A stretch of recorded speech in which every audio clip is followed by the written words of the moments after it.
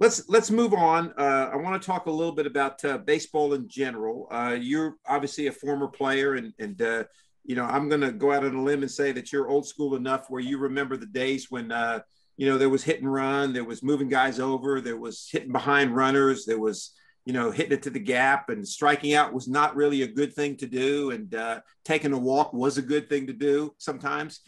Today the game has changed. You know, I mean, you go out there, and you watch baseball on TV, and it's like you know, you got guys hitting 40 home runs and striking out 125 times, you know.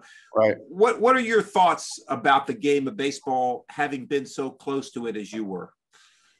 Well, you know, it's funny because I had stopped playing in 96 and the game today is completely different than the game I left. Yeah. Um, you know, I remember when I played you know, if you were a major league baseball player and you hit 25, 30 home runs, that was that was something. Um, obviously hitting 300, driving in 100 runs, those type of things. Right. But the game is completely shifted. It's a completely different game. and and I would say, you know, even on the high school level, it's gotten to be a different game. And I think a lot of that honestly has to do with strength and nutrition. It has to do with science. It has to do with the data, all mm-hmm. the analytics.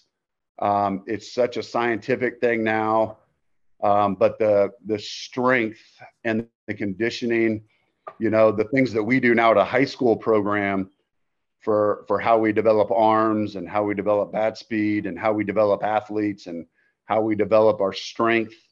I mean, it is just night and day from what I even in high school.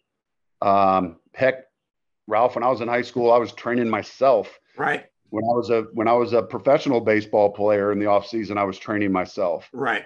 Um, we didn't have all this, you know, the strength and nutrition and and and these the the things that they have now, uh, let alone all the data, all the scientific research that goes into it, the camera, you know, that can can look at swing path and arms. I mean, we do the Driveline program now at high school and all these things.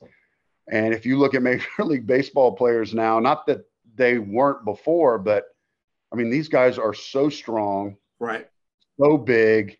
The pitchers are throwing stuff that, um, you know, when I was playing, you know, if a guy was throwing 92 miles an hour, let alone 94, I mean, you hardly saw that. Really?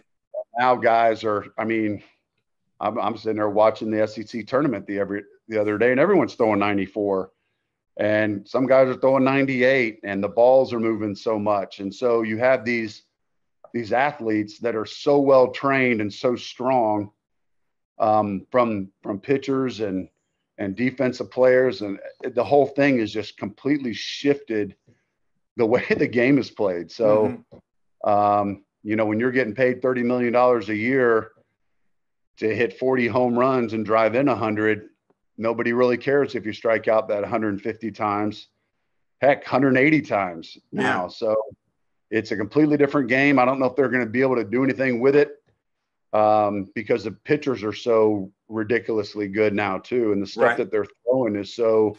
I don't. I, I sit there and watch it because I, I watch baseball all the time. I'm like, I don't know how anybody hits it. um, I mean, you see the, what these guys are throwing now, so it, it's completely different and it's it's it's completely changed the game.